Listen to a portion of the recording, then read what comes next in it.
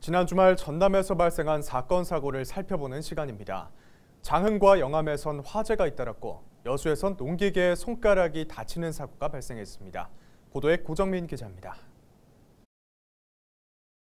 주택에서 시뻘건 화염이 치솟습니다. 지난 7일 밤 11시 반쯤 장흥의 한 주택에서 불이 난 겁니다. 이 불로 인명피해는 없었지만 1억 원에 가까운 재산 피해가 났습니다. 소방당국은 화목 보일러를 설치하는 과정에서 부주의 때문에 불이 난 것으로 보고 있습니다. 건물에서 시커먼 연기가 피어오릅니다. 7일 낮 2시쯤 전남 영암에서 불꽃이 창고로 튀어 화재로 번진 겁니다. 이 불로 냉동고와 창고 일부가 불에 탔고 인명피해는 없었습니다.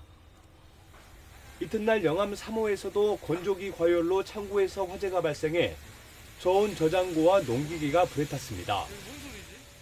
여수에선 농기계 사고가 발생했습니다.